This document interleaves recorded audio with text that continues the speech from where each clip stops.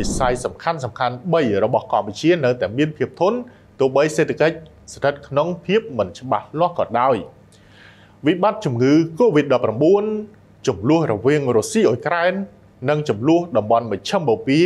ព្រមទាំងបញ្ហាភូមិសាស្ត្រនយោបាយបានជះឥទ្ធិពលយ៉ាងខ្លាំងដល់បណ្ដាប្រទេសជាច្រើននៅលើពិភពលោកក្នុងនោះក៏មានទាំងកម្ពុជាផងដែរ តែយ៉ាងណាក៏ដោយអត្តពលទាំងនេះត្រូវបានអ្នកជំនាញសេដ្ឋកិច្ចអះអាងថាពុំបានធ្វើឲ្យប៉ះពាល់ធ្ងន់ធ្ងរដល់ដំណើរការអភិវឌ្ឍរបស់កម្ពុជាឡើយហើយវិស័យសំខាន់សំខាន់ចំនួន3នៅតែមានភាពធន់និងធានាដល់ស្ថិរភាពក្នុងការជួយទ្រទ្រង់ដំណើរការសេដ្ឋកិច្ចរបស់កម្ពុជាតើវិស័យសំខាន់សំខាន់ទាំងនោះមានអ្វីខ្លះ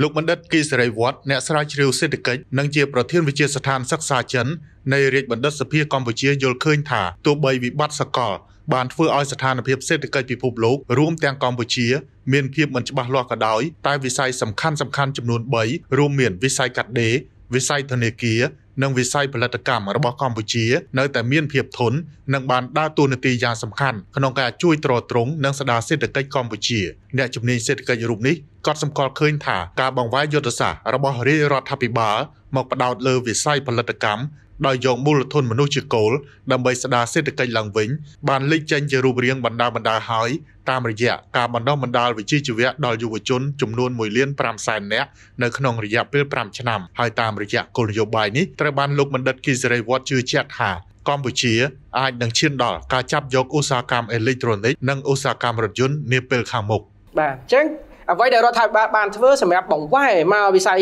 ផលិតកម្មវិញដែលខ្ញុំចាប់អារម្មណ៍ហើយនឹងកោតសរសើរនេះគឺការយកមូលធនមនុស្សជាគោល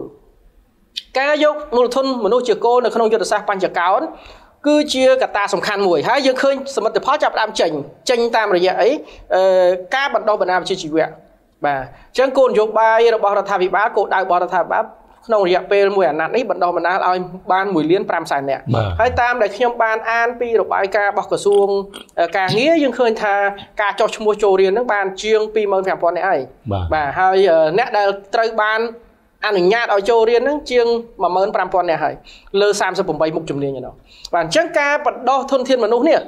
មានន័យថាជាការបង្កើតតម្លៃបន្ថែមឲ្យបងប្អូនប្រជាពលរដ្ឋកម្មករអាចនឹងចាប់យកនៅឧស្សាហកម្ម កាត់ដេរ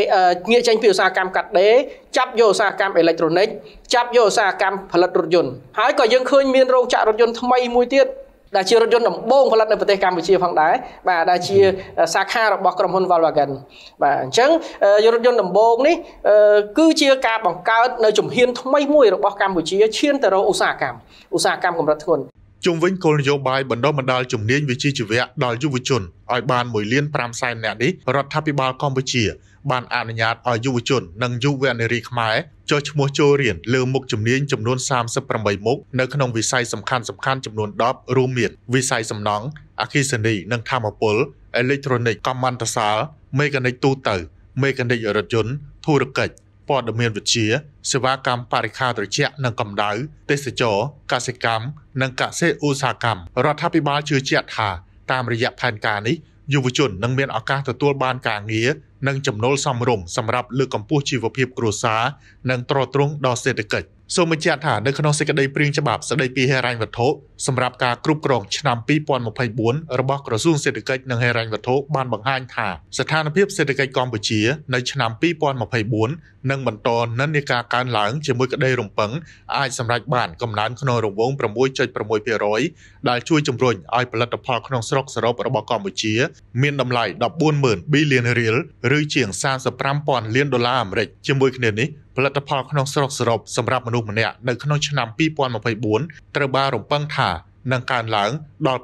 2071ដុល្លារអាមេរិកមានការកើនឡើងជាង150ដុល្លារបើធៀបនឹងឆ្នាំ2023ដែលមានប្រមាណ1917ដុល្លារអាមេរិក